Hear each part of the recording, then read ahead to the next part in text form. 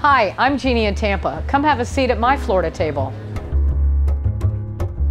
When you think about my origin story of being from Tampa, I started by bringing my food memories as a child into the kitchen. So I started with a lot of Cuban and Spanish driven food that I was always trying to make my own and modernize.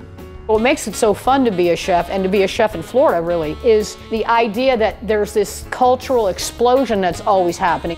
If you look at the Edison menu or the counterculture menu or the Swig-a-ma-jig menu, all the menus reflect the Florida landscape.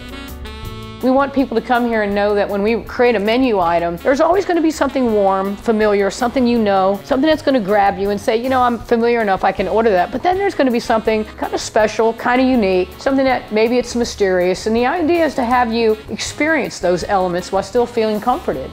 So Edison Food and Drink Lab was born from an idea of having a neighborhood joint that would really be based on world-class cuisine. So for us, Edison is product plus technique plus creativity, that's what equals this inventive experience that we've been having here.